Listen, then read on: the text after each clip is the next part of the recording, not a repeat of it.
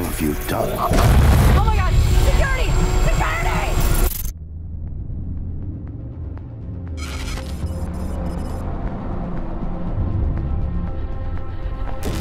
Hello, Morgan. Hello, Morgan. Tough day, right? Tough day, right? If I'm talking to myself, it must be.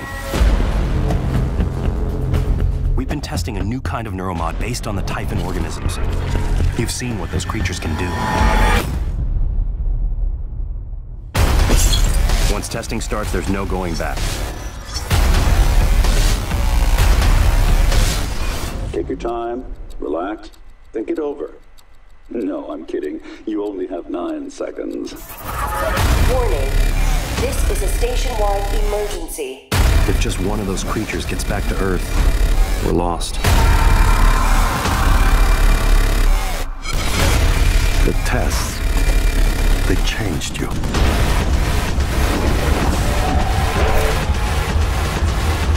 I'm sorry. I wish there was another way.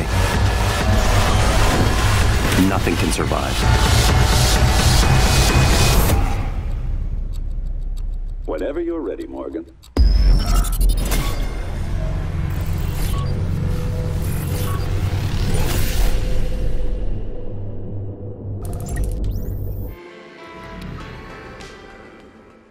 Good morning, guys. Good morning. Good morning. Good morning. It's so nice to be here in Why are- the uh, in the futuristic vision of prey. Do you like my apartment? I you really uh you you got hooked up big time in this apartment, man.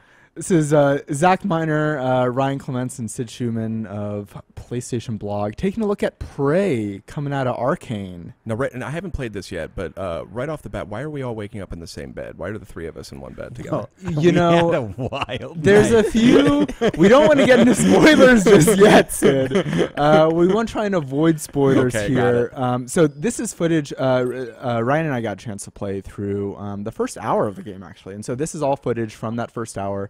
There's a couple things that we're going to avoid kind of talking about because there are some really incredible reveals in that in that first hour. And I, I'm confident in saying, and you and I talked about this, that the whole opening section of Prey, including some stuff that we're not going to show here today, might be one of my favorite openings in a video game I've seen in a long time. So phenomenal stuff, and, and hats off to the Arkane team for, for putting it together. Agreed. So it's our first day. Time to put on our TranStar uniform. Get ready to go up on the spaceship. Very exciting. Um, so what what is Prey? Prey is uh, out of Arkane, who did Dishonor. They did uh, Arx Fatalis. Um, as you're probably noticing right off the bat, uh, we're including this stuff because it kind of reveals that this is a first-person simulator. This is kind of an immersive sim. Let's just hop right on to the spaceship. Well, let's see. Oh. Oh my gosh. Things are not great up on the spaceship. I like how we went from the most serene footage to the most not serene footage possible. Look, it's a simulator, but it's not Apartment Simulator 2064. um, this is a game where things have gone wrong. Yes. And we need to figure out what's going on. Gone very, very, very, very wrong. So let me just, I, I've not seen this. This is, I, I'm sort of the resident dummy on this one. I am the biggest fan in the world of sort of the shock games. So uh, I've, I, I, I, I actually would consider System Shock 2 to be my favorite game of all time, Bioshock high on the list. So um, without having seen a ton of this game, it's giving me that vibe big time. And Absolutely. As it, as it should. I mean, it absolutely has that emergent, player driven choice style of gameplay that. You know, you're going to actually kind of see here represented in this weapon that um, the, you know we're seeing right now, which is the glue cannon, where it uh, you essentially allows you to build platforms, immobilize enemies, do a lot of different stuff, and hey, you don't even have to pick it up if you don't want to. I mean, there's essentially so many different ways to work your way through this very, very much damaged and very, uh, I, I don't want to use the word derelict, but it is a damaged, something's gone south uh, uh, station that your character, Morgan Yu, uh, finds him or herself on. What, what are these friendly little Right. guys here? They're not Uh, friendly. not so friendly. Oh, Sid. okay, I um. I will say that you are uh, terribly unperceptive. Um, the fact that these things are tr- trying to kill us. Um, they these are mimics. Uh, they seem to be kind of the, the little runts uh, of, of this game. But make no mistake, these things can kill you right quick if you're if you're not paying attention. So this glue gun is really cool because it can kind of freeze them and then allow you to kind of finish them off with the wrench. Um, this is a game that's obviously first person, and you are shooting things. And a little bit later, we're going to get some actual guns. Um, Bam. but it's not a game where you're going to be running around firing bazookas and Yeah. and just shooting stuff. Here we're going to take a look at some of the other kind of abilities, some of the emergent opportunities possible with this like, Ah. amazing glue cannon. Um, but uh, yeah, so those those little mimics, uh, as might be indicated by their name, can disguise themselves as other items in the world. Uh, here's another uh, little item here that might remind you of uh, a certain other game uh, that you like a lot. Mm. Um, so there are skill trees in this game, and there are actually a couple different skill trees, uh, some of which we didn't even experiment with. Right. Um, so you find these neuromods lying around that you shove into your eyeball. Uh, Seems r- seems right. seems right. Yeah. My Hey, what's this? What's this on the on the ground here? I'll just shove it in there. Oh, I might as well shove it in there. I, you know, I do that all the time. So we, we have a couple different skill trees: scientist, engineer, and security. We obviously barely got a chance to experiment with these, Barely. but suit your play style. You can be hacking turrets, hacking security systems. We'll take a look at that stuff. And oh, sorry, go ahead. No, go ahead. I was going to say, and a quick note that um, when I was talking to the uh, lead designer in our interview together, uh, he mentioned Ricardo Bare mentioned that in this in kind of initial section of the station, when you get that first neuromod. They actually give you a way to benefit from any of the initial selections you make when you upgrade your character. So like if you want to do like a hacking neuromod, they they made sure that in this opening area of the game there's a way to use that or a strength, you know, thing or um, some other uh, you know for repairs. Like they wanted you to feel like whatever you pick, you're going to be rewarded in some capacity, which I thought was really smart design. And this is a hacking interface we're seeing now. I'm guessing. and th- we'll see this right now. So, so I invested in hacking, and so we're um, I'm, I'm able to kind of get into this room that's totally optional. And look, I get a weapon upgrade kit. nice. There's some other stuff going on in the room. I, I will note, um, and and I told I told Ricardo this that um, you know I Dishonored has been one of my favorite games the last several years. Oh, yeah. I am someone that plays those games by reading everything in the world. oh, absolutely. Arkane. There's so many emails. there, there are few studios better, uh, in my opinion, at environmental storytelling than Arkane. 100% working right agree. now. Um, and, and I want to just soak all that in. I was really having to slap my wrist and just be like, nope, Zach, just move on, keep moving forward. Um, so here we're kind of in the main lobby of this spaceship, and everything's totally fine. Oh, oh no, everything is not totally fine. maybe not. where where is this sort of space station located? Do you know? Is it Well, like in the solar system or? It I- is in outer space. Okay, Yes, it's in outer it's space. And if you look out the window here, you might see that there is potentially some uh, recognizable celestial objects. Oh. Indeed. We're keeping things vague. Very big. I, you know what? I fear that there's going to be some spoilers out there, but that's why you just got to stick with the PlayStation blog for all, right. all the coverage. Um, so this is the main lobby, and this is kind of the main, I think, hub of the game. And so there's kind of different levels that you can explore of the spaceship, obviously, as, as we've seen. Here's another example of just some of the completely optional environmental storytelling. Ryan, I don't even know if you went into this I, room. I, I know what you're doing here, but I unfortunately did not read all this stuff. But yeah, it's awesome that you are. It's basically a little, a small museum showing the progress of the space station and kind of its development um, and the development of the company that facilitated it. So just really awesome stuff. And again, it's like you could just totally walk by this room and not even notice it. Um, so they really, oh my, who are these friendly looking fellas? Uh, again, uh, I'm going to really question um, some of you guys' instincts. Um, these are not friendly. Um, these are phantoms, and these are the hardest enemies that I saw. Interesting. I Uh-oh. so this did you not go into this room? Ryan? Not- no. Remember, you you went much further than I did. I was too busy reading emails. So I, I had to hack my way into this room. Um, so this I think kind of demonstrates how challenging some of the kind of fight uh, situations can be. So um, again, the, these guys are doing some pretty serious damage. You can see the health indicator in the in the bottom left, and I'm really having to kind of strategically think about how I'm going to kind of pause, you know, put put health kits on, um, and then you know use this kind of stun gun or perhaps the kind of the glue cannon to freeze them and then finish them off with, with the wrench. Uh, I, th- I think i we haven't played much of it, but Oh, yeah. ammo is going to be sparse. I think. Yeah. Um, Does look like there's a recharging health system. I noticed. It's down, yeah, down in the lower left. Uh, it is definitely very, I wouldn't say punishing, but you you definitely have to be cognizant of your health and your well-being. Or maybe I'm wrong. What's that meter I see in the middle of the screen that keeps building up? Is that like oh so stamina? that's stamina. Got Got yeah. it. Uh, I, I But- was incorrect by what health, I said. Health, you need to like heal I got it. yourself. Okay. Um, you you're, you're not just always going to be at hundred percent. I retract my prior statement. There is not a recharging health system. And so when you're when you're opening that weapon wheel there, you're just triggering the health kit. I That's kinda understand. what's Okay.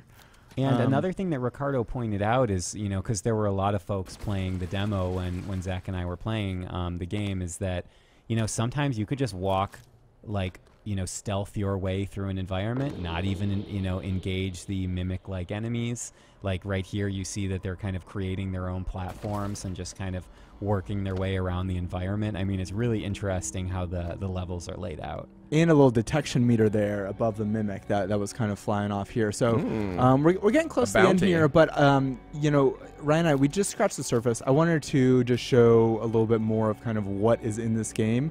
Um, so, th- so this is your office. Uh, this, This, is I mean, this, Morgan's this office, this inventory could be ripped straight out of System Shock 2. right? And look, like, straight can- out of it. You can upgrade it, obviously, right? You can expand it. So um, I think I think the office is going to kind of be your home base, and so there's recycling of materials where you're breaking Oh, material, you're breaking objects in the world down into different components. So there's like there's reasons to pick up all this stuff in the world. Like what what am I going to do with this coffee cup? Uh, I'm going to throw it across the room, but I could have recycled it. Really? Um, and then on the other side, um, you'll see that there is a fabricator. So there's a crafting system in this game. So you're going to be finding, I think, blueprints and, and upgrades uh, throughout the game. And um, obviously, you're not going to find most of them, um, and it's really going to kind of require exploration.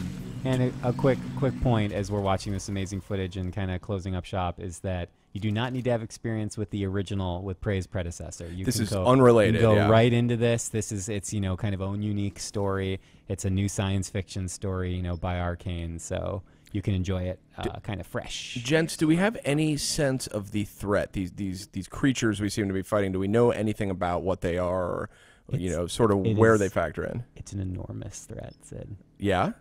Yes, I mean I have no. I, all I know is that the space station is not in good shape, and the people on the space station are not in good alive. It is a threat not to be taken lightly. Okay, I Um, understand. And uh, just real quick before we go here, in addition to that skill tree that we saw earlier, um, we are aware that you get some access to alien powers later in the game. We didn't get a chance to really look at those or, or experiment with those. Um, that was a little bit after.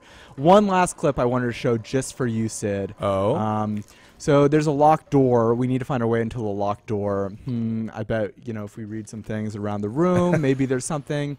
I Just like in real life. I wonder what the access code to that door might be. This is kind of the first big one there. Oh, do those numbers look familiar? Oh. Zero four five one. Now that is the first. That's the first code given out in System Shock 2. First code given out in System Shock 2. I believe it was in the first System Shock. Oh, was it? 451.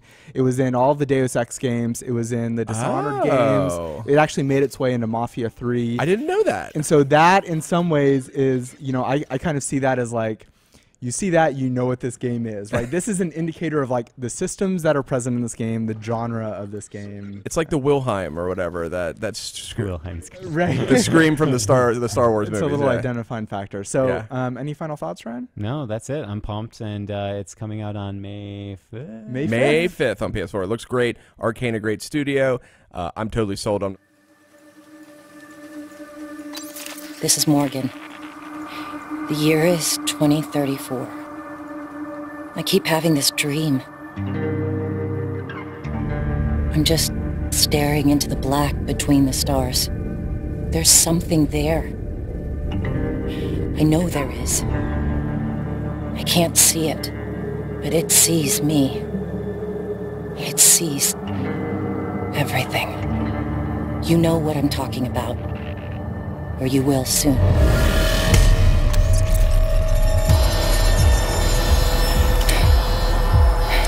This is Morgan. The year is 2035. Please listen. This isn't a dream. It's a nightmare. There's no room for uncertainty. There's no room for doubt. And know this, there's more at stake than just Talos 1. If what happened here, if even one breaks containment, we're all lost.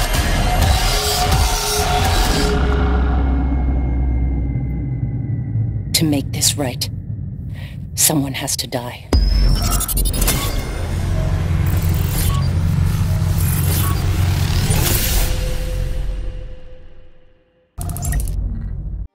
Hi, this is Rafael Colantonio. I'm the president of Arkane Studios and creative director on Prey. Hey everybody, this is Ricardo Bare. I am the lead designer on Prey. At Arkane, we love games that blend simulation and narration, like Dishonored. We do games you can play the way you want. Prey is another one of those games.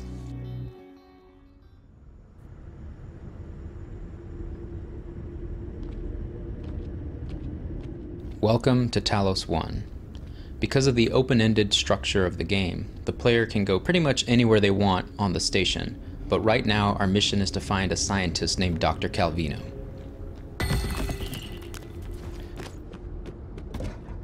Some of our aliens turn into things as a mean of camouflage.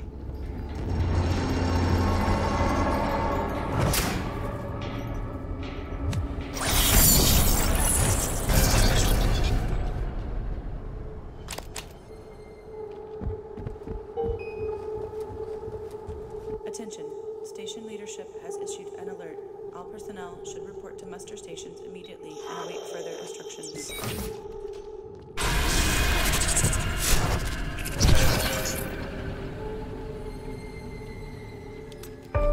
Lots of ways to solve problems on Talos 1. Weapons are one of them, but weapons are rare.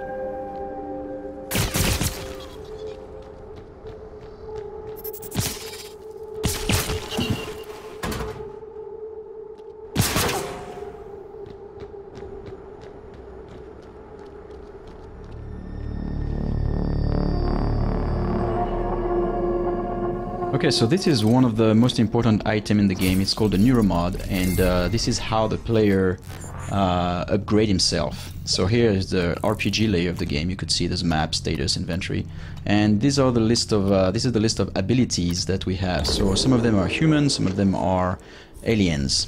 Which you learn by stabbing a needle into your eye.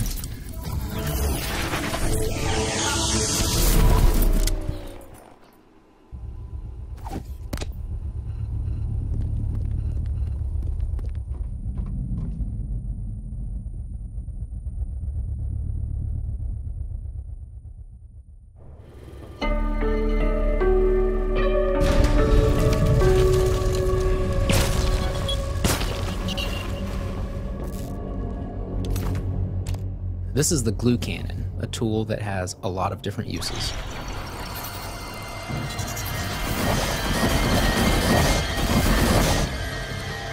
This is an alien power called Super Thermal. We recently acquired it using the Neuromod. Okay, so we're going to use the roster system in order to try and track Calvino down, but the door is locked. So we're going to take this opportunity to demonstrate one of our unique alien abilities called Mimic. So in the game you can actually learn your powers from the aliens, so it's only fair that you too can turn into a cup. The roster system helps players locate anyone aboard Talos 1.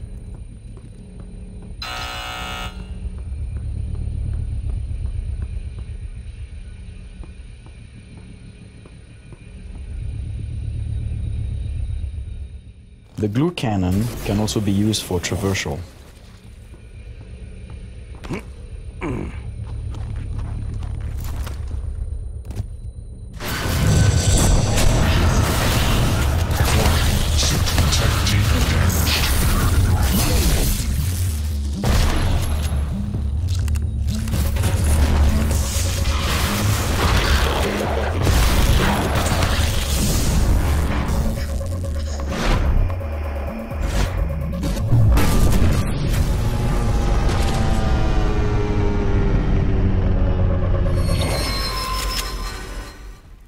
Was a phantom, one of the other kinds of aliens aboard the station.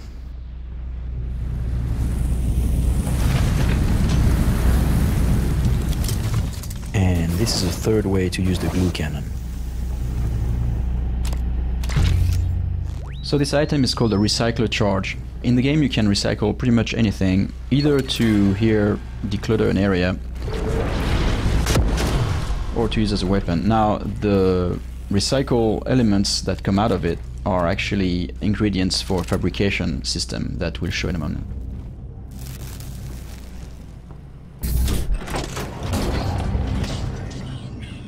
Aliens aren't the only threat aboard Talos 1.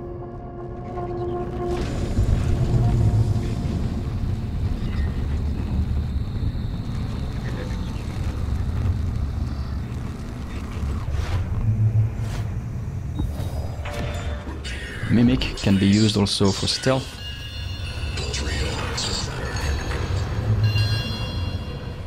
Inventive players will be able to chain powers together. So right now this player needs to get up onto that elevated platform, so they're going to combine Mimic with Kinetic Blast.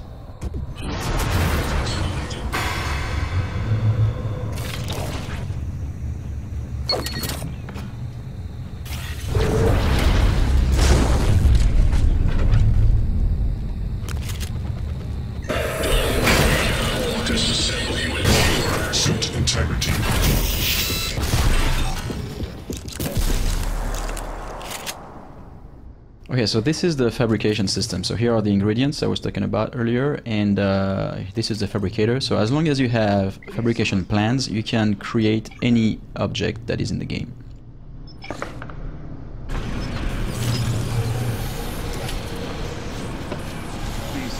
Here we're creating an object to fly in 0G.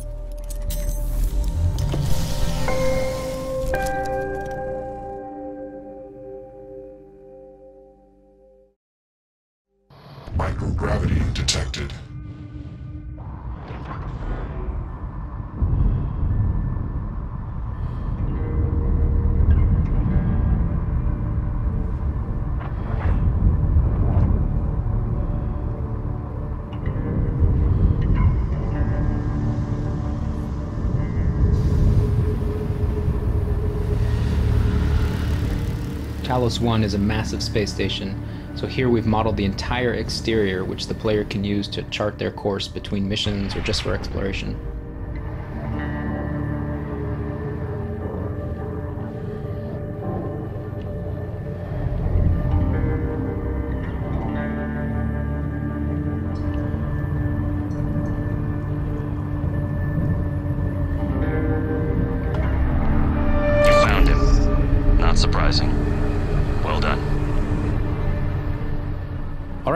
Located our missing crew member. Let's head back in.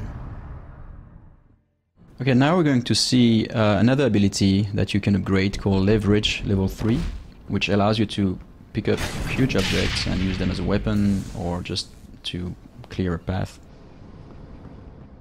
But players will have to be careful sometimes installing alien neuromods because on occasion it will attract the attention of other aliens.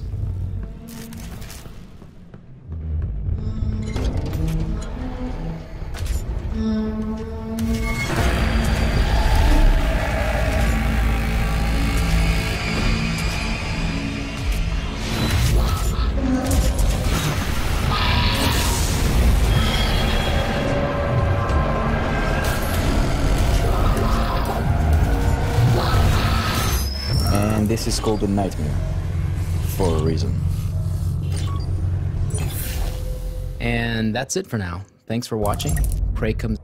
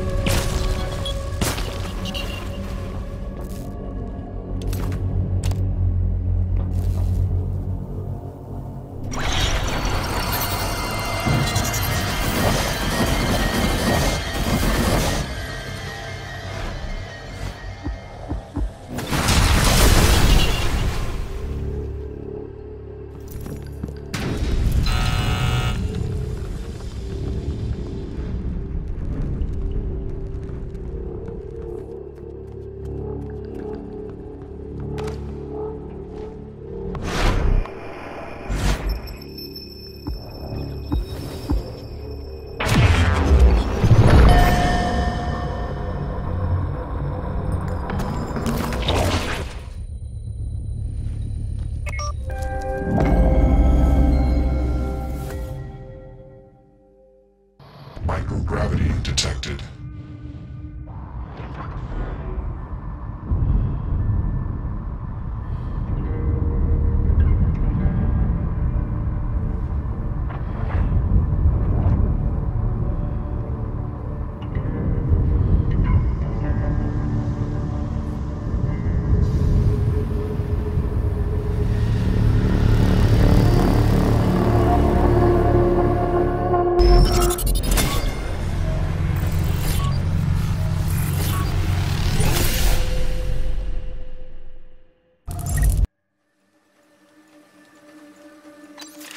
Morgan.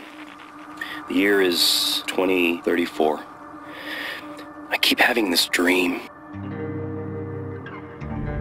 I'm just staring into the black between the stars.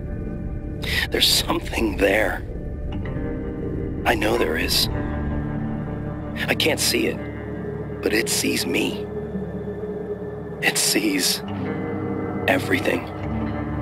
You know what I'm talking about. Or you will soon.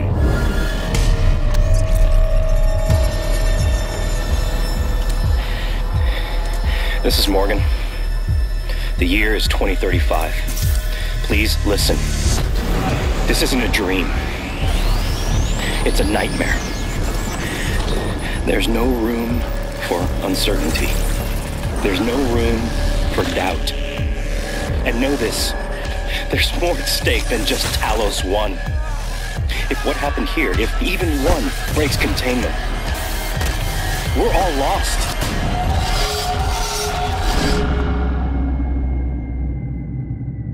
To make this right, someone has to die.